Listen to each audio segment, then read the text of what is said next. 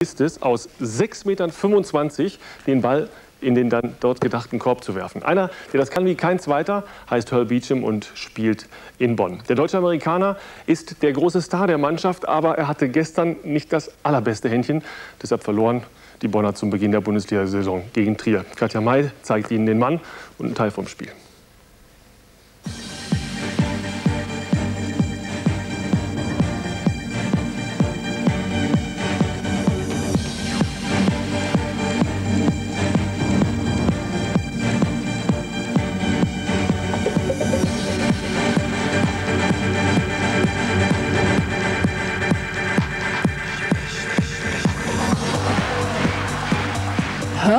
Beecham ist der Gunman aus Iowa. Formvollendet seine Spezialität, der Dreier. Gerne rückt er noch ein wenig weiter nach hinten. 6,25 Meter zum Korb sind für ihn keine Distanz. Earl Beecham und der Dreier, eine faszinierende Beziehung voller Geheimnisse. Ich denke, er hat sehr viel Selbstvertrauen. Das ist ein großer Bonus von ihm. Und er hat, den, wie man sagt, den Shooter's Touch. Also er hat ein gutes Händchen. Ein Grund, weshalb ihn die Fans so lieben, ein Nobody vom College. Doch in seiner ersten Basketsaison ging es direkt bis ins Finale. Berlin wurde deutscher Meister, doch der Amerikaner mit deutschem Pass feierte die Vizemeisterschaft. Ganz Bonn schunkelte in magenta gefärbten Partyfieber. Der neue Mann ab sofort ein Star. Herr Beecham ist cool, also super geile Dreier und so,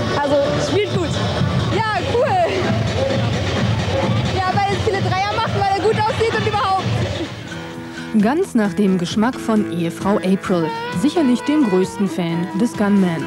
Seine alte Highschool-Liebe verrät uns dann auch ein Geheimnis der Dreiererfolge. In der Ruhe liegt die Kraft. Der Gunman etwa eine Schlafmütze? Er ist sehr zuvorkommend, bodenständig, er kann sehr witzig sein und auch ein wenig albern. Zu Beginn wirkt er vielleicht etwas schüchtern, aber wenn man ihn erst einmal kennt, ist man sehr gerne mit ihm zusammen. Seine Anwesenheit schätzen gelernt haben offensichtlich auch die Baskets. Sie suchen diesen Mann in vielen ihrer Systeme. Und das war gestern sogar auch bei den Gegnern aus Trier der Fall. Sonderbewachung für den Gunman, denn vor gut einem Jahr hat er ihnen zwölf Dreier eingeschenkt. Ein Rekord, den wohl nur Earl Beecham persönlich brechen wird. Sein Trainer Bruno Soce gestern nervös, auch nach drei Dreiern von Hurl kurz nacheinander. Fünf Punkte vor zur Halbzeit. Auch in der zweiten Hälfte traf der Gunman noch dreimal aus seiner Lieblingsdistanz. Doch mit sechs Dreiern alleine gewinnt man kein Spiel. Zu hektisch, zu ungeduldig auf einmal der Angriff. Ende der zweiten Halbzeit kippte das Spiel. Trier in dieser Phase einfach abgeklärter. Die Amerikaner Thompson und Gray trafen aus allen Lagen. Der endgültige Führungswechsel. Mit 22 Punkten war Earl Beecham gestern zwar der Topscorer seines Teams. Zufrieden konnte jedoch keiner nach dieser 81 zu 85 Niederlage sein. Denn die, das war wirklich allen klar, hatten sich die Bonner selber zuzuschreiben. Wir hatten zweite Halbzeit äh, ein wenig mehr unter den Korb spielen müssen, halt äh, den, die Bälle den Centern anpassen und den Angriff ein, äh, wenig mehr beruhigen. Das haben wir, das haben wir schlechter gemacht. Doch wer ein echter Basket ist, der pflegt auch nach einer Niederlage den Gemütszustand seiner Fans. Und die wissen ganz genau, die Geschichte vom Gunman und den Dreiern, die wird sicher weitergehen. Der Gunman bei uns im Studio. Herzlich willkommen, Earl Beecham. Ähm, eigentlich müssten wir Deutsch miteinander sprechen, weil Sie haben einen deutschen und amerikanischen Pass. Wie sieht es aus mit der deutschen Sprache? Uh, I'm working on it. Ich arbeite dran. Es ist ein langsamer Prozess. Und äh, der Trainer gibt uns auch nicht allzu viel Zeit. Also ich habe eigentlich nicht die Chance, äh, zu Klassen zu gehen. Meine Frau wird das zunächst mal machen und vielleicht kann ich es dann von ihr lernen. Aha, die Frau muss also das Deutsch lernen und Sie äh, holen zumindest über den Basketball das Geld rein. Ist so die Verteilung zu Hause?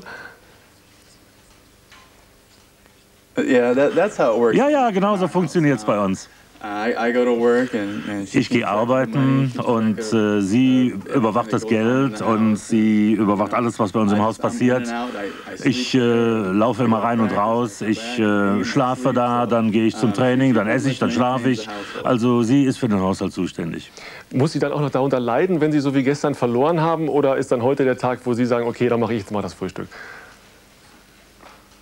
Uh, no.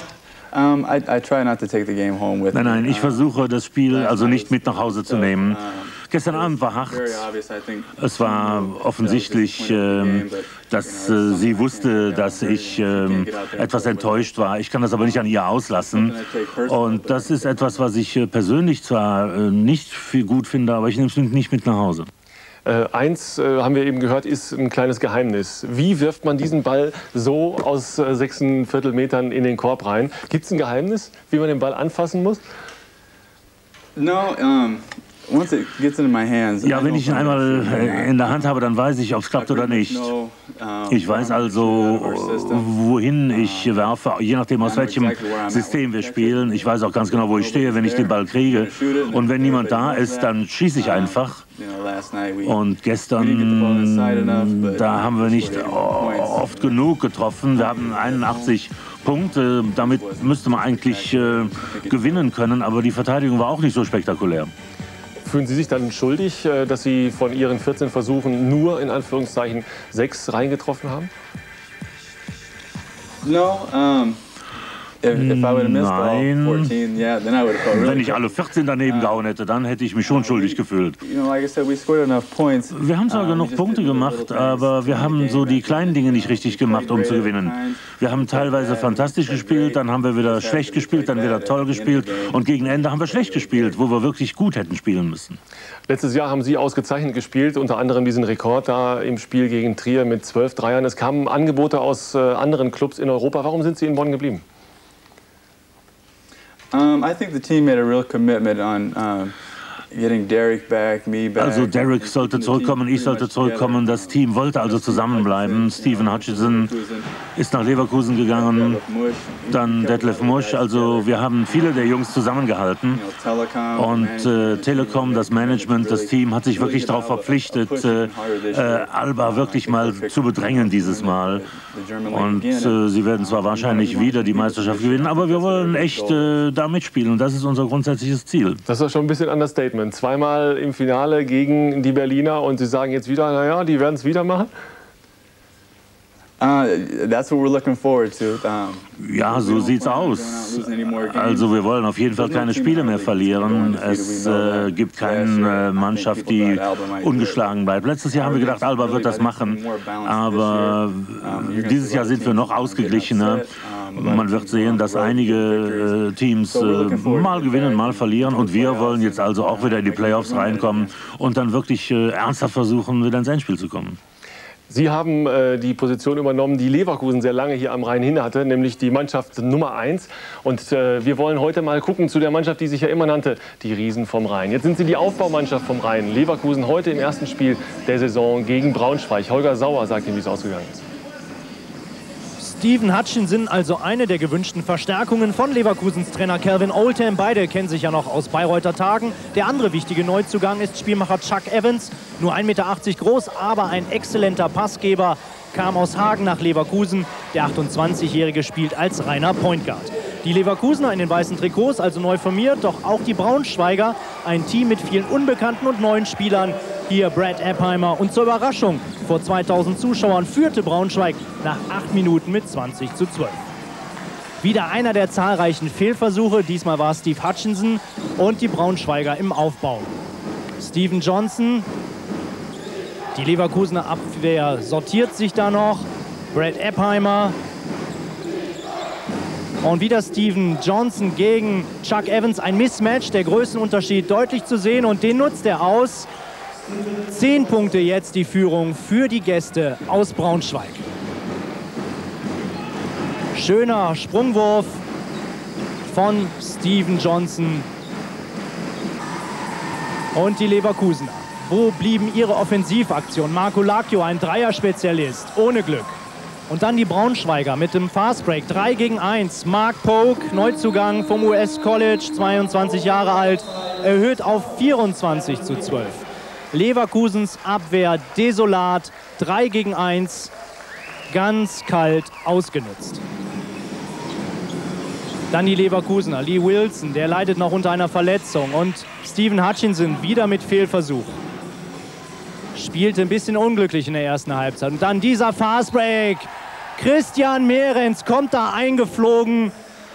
Steven Hutchinson fault ihn sogar noch dabei. Unnötige Aktion, aber spektakulär. Christian Mehrens, vergangene Saison spielte er noch in Röndorf.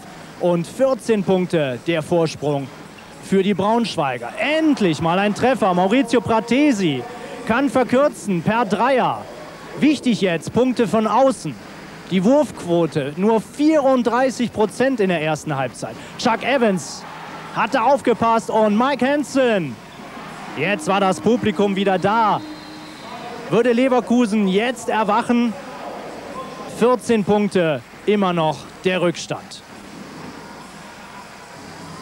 Es galt in der Offensive die Trefferquote zu verbessern. Dann wäre man wieder im Spiel. Steven Hutchinson, Björn Giesek, wieder nichts. Alle gehen zum Rebound und Fastbreak-Möglichkeit 2 gegen 0. Steven Johnson leichte Punkte. Wo war die Sicherung? 53 zu 25 für Braunschweig. Otto Reinches, der Manager, ratlos, obwohl er als Saisonziel schon vorab die Finalteilnahme formulierte. Zweite Spielhälfte, Zeit zur Aufholjagd. Leverkusens Defense nun verbessert, aggressiver. Gerrit Tadenge dazwischen. Und der schönste Korb des Tages durch den Leverkusener Nationalspieler Gerrit Tedenge. Come on, sagt er da. Schauen wir uns diese herrliche Szene noch einmal an mit Foul von Christian Mehrens. Am Ende erzielte Gerrit Tedenge 15 Zähler. Die Leverkusener setzen alles auf eine Karte mit drei Punktewürfen. Maurizio Pratesi erfolgreich. Aber das Erwachen doch ein wenig zu spät. Der direkte Gegenzug. Norman Frömel auf Steven Johnson. Er hat wieder dieses Mismatch gegen Chuck Evans. Und trotz Foul trifft er diesen Drei-Punkte-Wurf. Das war der Big Point des Spiels. Das war die Entscheidung. 23 Punkte für Steven Johnson. Am Ende siegte Braunschweig deutlich mit 96 zu 76. Klassischer Fehlstart in die Saison, also nicht nur in Bonn. Auch die Leverkusener hatten sich ihre Heimpremiere sicher anders vorgestellt. Da sind die Ergebnisse. Also Bonn unterliegt genauso wie Leverkusen. Würzburg verliert gegen Alba Berlin, die schon ihr zweites Spiel beim 91 zu 108. 90 zu 93 die Niederlage von Lich gegen Hamburg. Und Bamberg schlägt Weißenfels mit 66 zu 55. Das ist der erste Tag gewesen der Basketball-Bundesliga. Hörl, Ihr Spitzname ist der Gunman. Können Sie damit leben? Yeah, uh, I think, uh, our Ja, fans natürlich. really identify me with that. And Äh, Damit werde ich identifiziert und wenn den Fans das gefällt, dann gefällt es mir auch. Eine Frage müssen wir auch noch klären. Ich weiß, dass Ihre Oma in der Nähe von München wohnt, in äh, Landsberg. Haben Sie die inzwischen mal getroffen oder ist sie jetzt mal hier gewesen zu einem Spiel von Ihnen? Um, no, I don't think she hasn't seen me. Nee, sie hat Um, mich noch I've nicht gesehen. Ich a habe few schon mit ihr times. telefoniert, ein paar Mal sogar. She's she's a little bit older now. I- I Sie ist jetzt ein she's- bisschen I think älter she's more of und a- a soccer fan than äh, ich glaube, a- sie ist mehr Fußballfan als Basketballfan. some more and see if I can- Aber ich werde mal sehen, ob ich sie vielleicht bekehren kann. Ähm, wie ist Ihr Fußballinteresse? Nicht vorhanden. Um, eh, not real good at it. Uh, Nein, also ich bin uh, nicht better besonders gut. Äh, my Also ich koordiniere meine Hände besser als meine Füße. Dann wünschen wir Ihnen äh, im Europapokal am Dienstagabend viel Glück, dass dann das mit den drei Punkten wieder besser klappt. Und auch für die Bundesliga ist noch ein langer Weg bis zur Meisterschaft. Alles Gute dafür, Herr Bütchen. Danke, dass Sie hier waren. Thank you very much.